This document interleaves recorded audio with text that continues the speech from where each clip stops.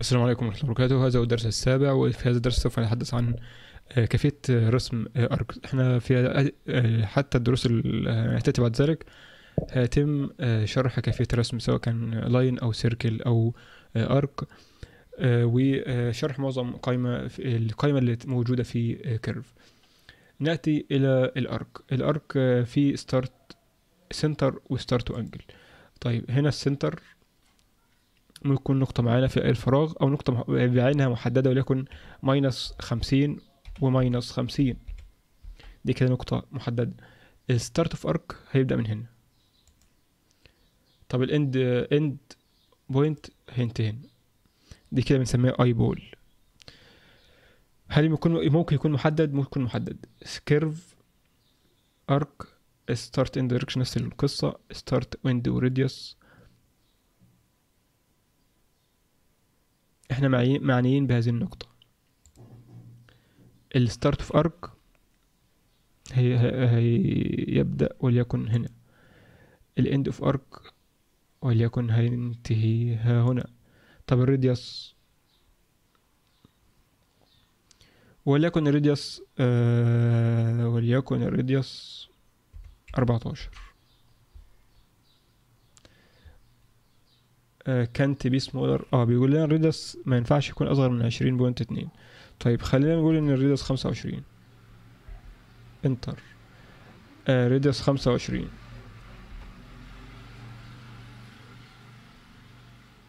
آه هنا بيقول بي- بيقول هيكون هنا الناحية دي ولا الناحية دي؟ فنشد الناحية دي هيكون ظاهر بهذا الشكل. آه النقطة اللي بعد كده هو ال tangent من الأشياء المهمة جدا ال tangent to curves والله هو هي- هيكون tangent هذا الجزء و tangent لهذا الجزء. انت بيقول لنا هنا press enter to draw circle from two point انت عايزه فين؟ آه هنا ال tangent النقطة فين بالظبط على هذا ال curve ف وليكن tangent من هذه النقطة.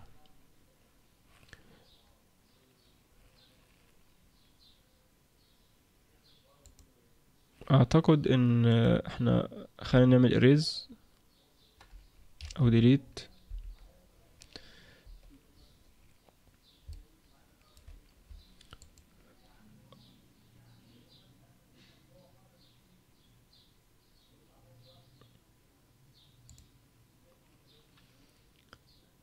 تانجنت هنا تانجنت هنا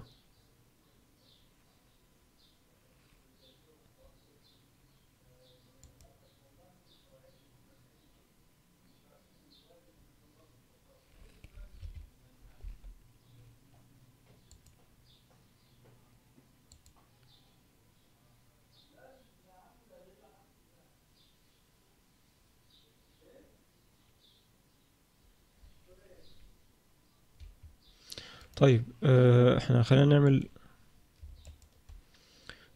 جوين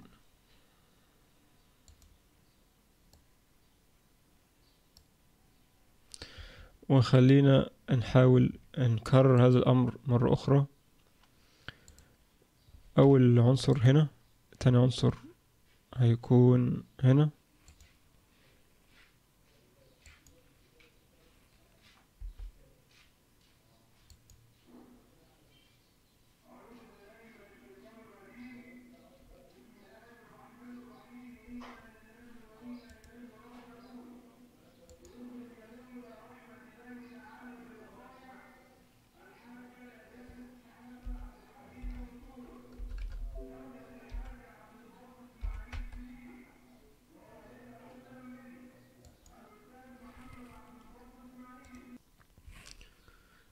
يبقى إذن آه، طريقة بسيطة جدا.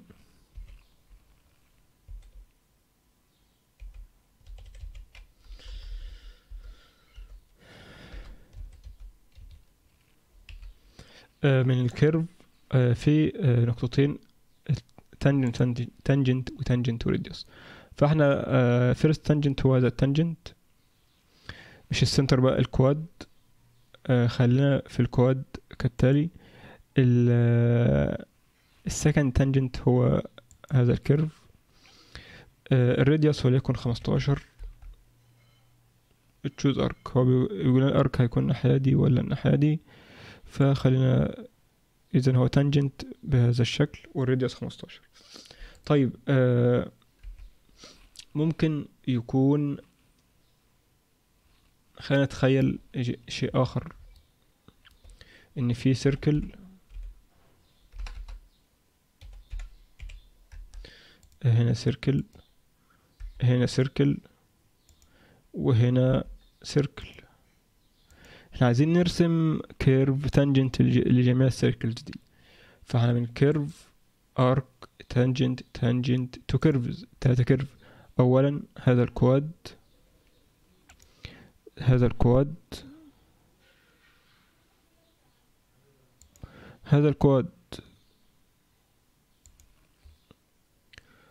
آه انت عايز ال curve يكون الناحية دي فبيكون عشان ننهي هذا الدرس فيه ال ellipse آه آه، موجود في ال ellipse آه ال from center ال first axis shift وال second axis. ده كده تم رسم ال ellipse. أيضا من الأجزاء الأخرى ال curve ellipse. وال diameter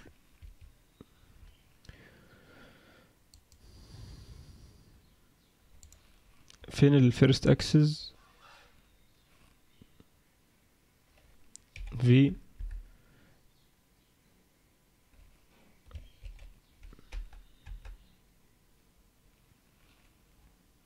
ال start وليكن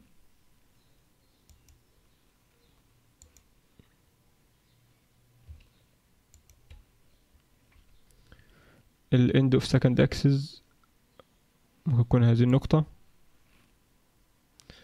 ال start of first axis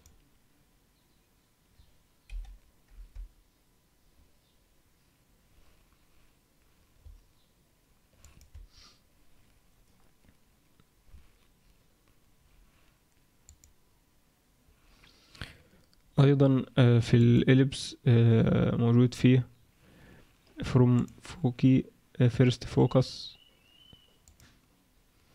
دي لو في أكتر من نقطة. Second focus. وال point on ellipse. دي أي نقطة على ال ellipse